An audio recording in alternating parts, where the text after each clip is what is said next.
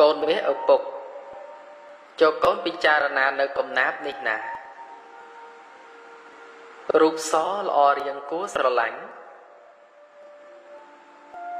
តែចាញ់ល្អចិត្តគុណិតជាមិនយូរប៉ុន្មានរូបជារាអាចចិត្តល្អជាមិនចាស់ឡើយកូនមាសឪពុកចូលកុំភ្លេច ធေါ်ថ្លៃជាងពេជ្រនាំដល់ត្រោយ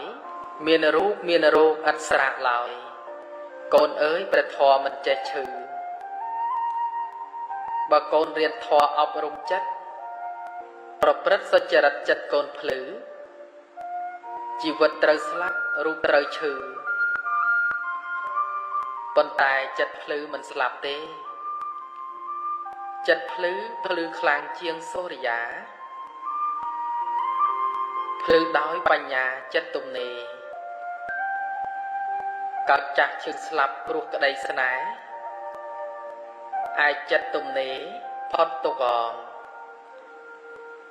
ចិត្តល្អមិនជារាព្រះធម្មាមិនចេះឈឺខាត់ចិត្តឲ្យបានភ្លឺមានពន្លឺផុតក្តីស្លាប់